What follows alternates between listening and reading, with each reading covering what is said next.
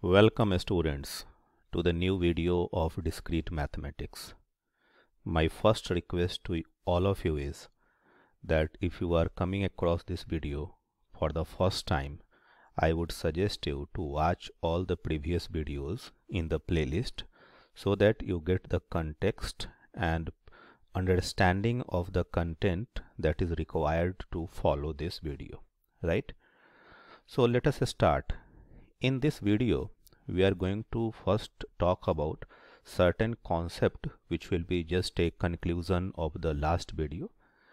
Uh, we will talk about laws of equivalence logical equivalence uh, de morgan's laws for quantifiers. And in the end we are going to do some very interesting problem uh, which are related to predicate and quantifiers so you need to watch this video till the very end to get better out of it.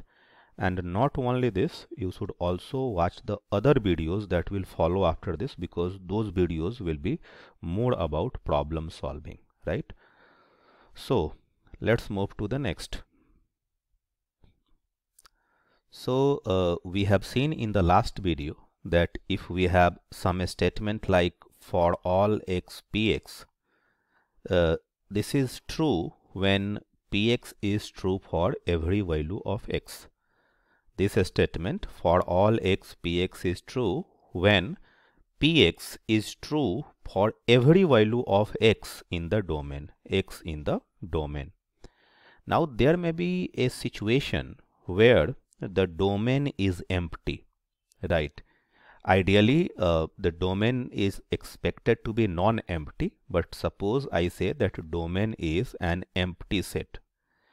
Then in that case, if I write the statement for all x px, is it a true statement or false statement, right?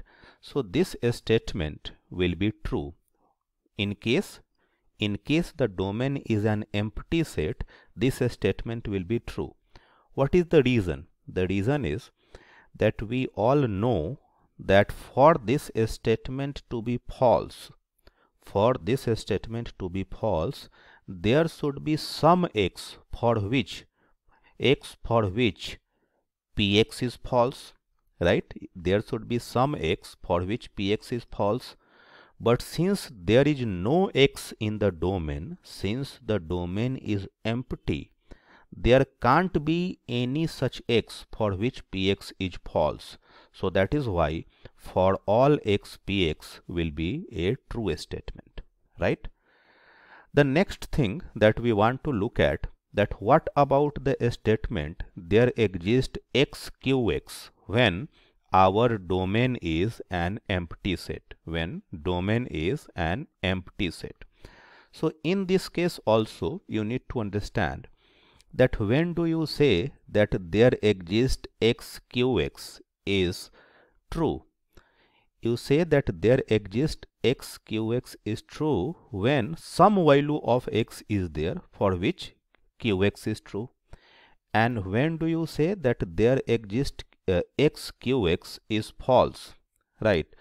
When you say that there exists x qx is false when it is false for every value of x right? Now for this statement in this case when the domain is empty will be a false statement. You might be thinking why?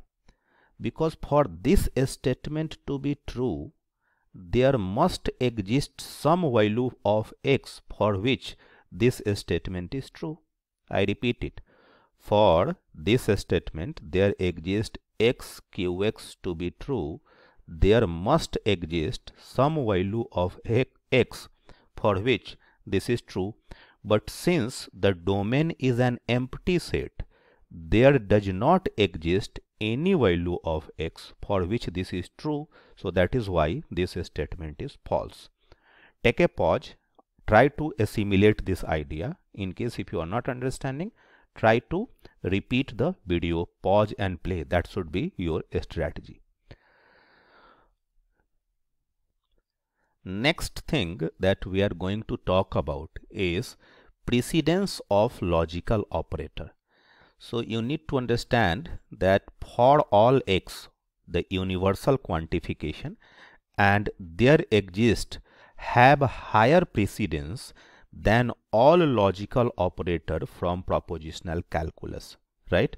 So in case if somewhere it is written for all x px and qx it means what? That since this has a higher precedence we will consider for all x px to be the first one and then we will consider qx right this is the right way of looking at this. You should not confuse this with this that some of the students may confuse it with this that first I will take px or qx and then I will use the universal quantification. No, why? Because this has got higher precedence than all other you know logical uh, operators that we have seen earlier. Okay. Now let us quickly look at the laws of quantifiers, the logical equivalence laws involving quantifier. So if you look at the first law for all x, p, px and qx, this is equivalent to for all x px and for all x qx, right? It looks very natural. These two laws are very important and we will come across this quite frequently. So this is saying that if I ask you what is the negation of a statement for all x px. So if I have to consider the negation of this statement for all x px, it means what? When this statement is true, this statement is true when px is true for all value of x, right?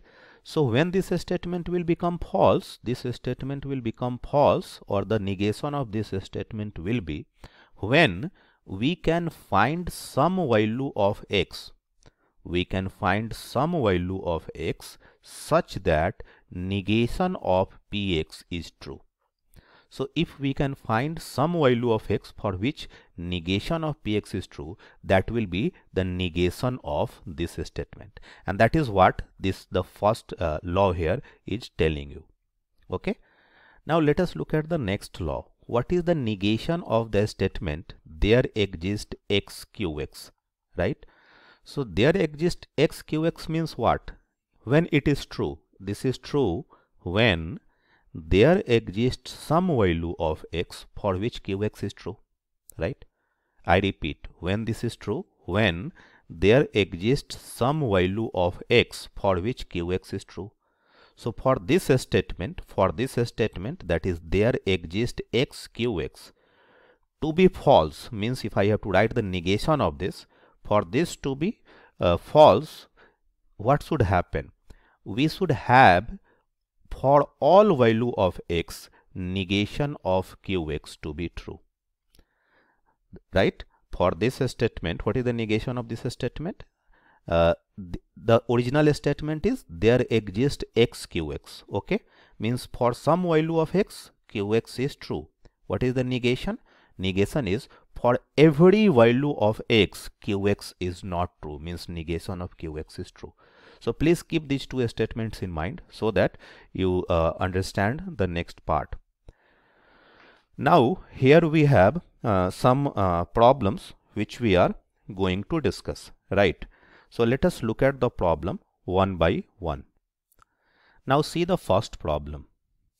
What are the negation of these statements? There are two statements here. There is an honest politician and second statement is all American eat cheeseburger. So let us look at the first statement first. So first of all to write the negation, we are going to translate this statement using quantifiers. So what I am going to do, I am going to first define the propositional function hx that x is an honest politician, right? x is an honest politician, right? Now uh, here uh, before defining this we need to also be clear about that what is the domain we are talking about. So the domain that we are considering here is the uh, politician across the world all politician of the world all politicians right? I am writing all politicians. So there exists an honest politician means it should be written as there exists someone who is an honest politician. Means this statement will be true if out of all the politician in the world, if I can find one politician who is honest, so this statement will become true. So this is the original statement, right? This is the original statement. Now I have to write the negation of it. So negation of uh, there exists xhx, right? So it is what from the laws of equivalence that we have seen earlier in the previous uh, like uh, slide it was for all x negation of hx right? This is the law of equivalence right? So it means what? That what is the negation of this statement? There is an honest politician. I am writing it over here in this side. So for all x negation of hx means that every politician every politician is dishonest or not honest right? I hope you have understood it right now if i uh, look at the next statement all americans eat cheeseburger so let me use a different color so that uh, you get the things correctly so all Americans eat cheeseburger. If I have to answer this, uh, first of all, I have to write this statement using quantifiers. So I am taking the domain, I am taking the domain as the uh, domain containing all Americans. So uh, the domain that I am taking is all Americans, all Americans, everyone living in America is the domain. Now all American is eat cheeseburger. So first of all, I have to define the propositional function. So I'm defining the propositional function that is px, right? So I'm defining x eats cheese burgers. Yes, ladies and gentlemen, I hope you are getting. So px is x eats cheeseburger. So what is the original statement? All Americans means for every x, px is true. So that is what you will write for all x px. Now the next part of it is that we have to write negation of this, negation of for all x px. So what will be the negation? This will be equivalent to there exists x negation of px. And this I hope uh, you have understood by the laws of uh, you know equivalence.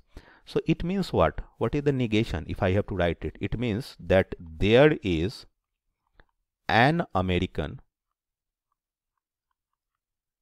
who does not does not eat cheeseburgers.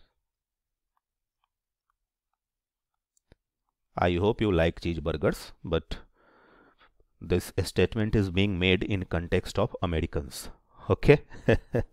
so uh, next so look at this problem next. Okay. Now uh, I am going to quickly solve it. Uh, that what is the answer?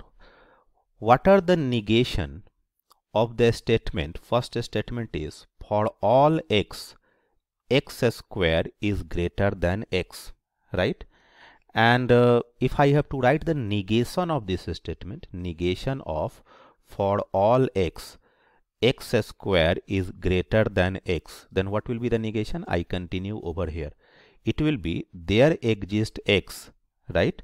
There exists x such that negation of x square is greater than x which is equivalent to there exists x. X square is less than or equal to x. Okay? You should not just write x square is less than x rather you should write x square should be less than or equal to x right? Similarly you will be able to do this problem also.